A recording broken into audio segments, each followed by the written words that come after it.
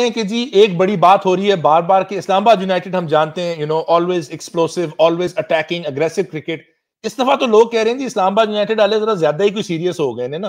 वो बहुत ही ज़्यादा attacking cricket so many attacking aggressive batsman even your middle order options Danish Aziz Azam Khan Asif Ali these guys are top of their game as hitters तो कोई एक तनकीद है लोगों की कि जी कुछ स्टेबलाइजर नहीं है। एक एनालिसिस वाले लोग कहते हैं कि ji, Islamabad is all attack अगर कोई खुदा ना खास्ता सिचुएशन आ गई जहाँ थोड़ा सा बिल्ड करना पड़े तो उनके पास कोई बंदा ही नहीं है। Would you agree with that I understand the criticism but I also have an answer for it one मेरी नज़र में अगर आपकी टीम 110 स्कोर कर रही है, आठ खिलाड़ी या पाँच खिलाड़ी आउट होके, और आपकी टीम 110 पे ऑल आउट हो रही है that is the same result ठीक है?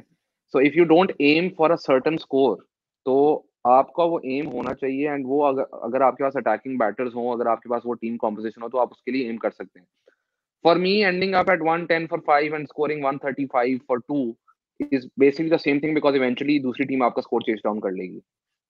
The other thing here is के आपके the concept of having wickets in hand in T20 cricket is something that we generally don't agree with uh, because आपने जो बाकी आपके बैट्समैन बचे हैं, उनको आपने, क्या फ़ायदा उनको बचाने का अगर आप उनको यूटिलाइज ही नहीं कर रहे? So basically every player like आप आप स्टेबलाइजर की बात करें, अगर आपकी टीम में नंबर दस तक बैटिंग हो रही है तो आपको अपनी टीम पे इतना ट्रस्ट होना चाहिए कि वो 120 बॉलें खेल जाएँगे।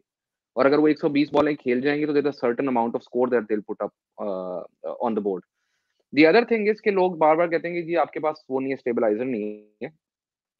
हमारा पिछले साल स्टेबलाइजर हुसैन तलत था जो कि हमारा एक इमर्जिंग प्लेयर था।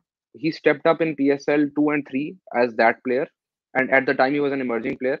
अभी हमने emerging player लिए हैं Mohammad Huraira and Mubasir both of them who can play that role ठीक है? Yes. अगर सिचुएशन ऐसी आती है तो आपके पास है।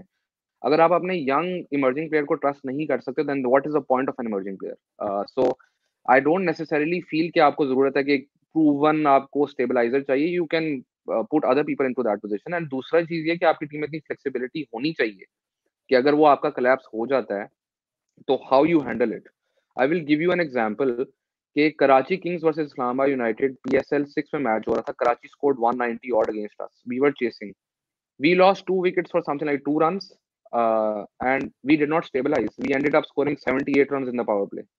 And हमारे चार आउट हो गए 78 पे।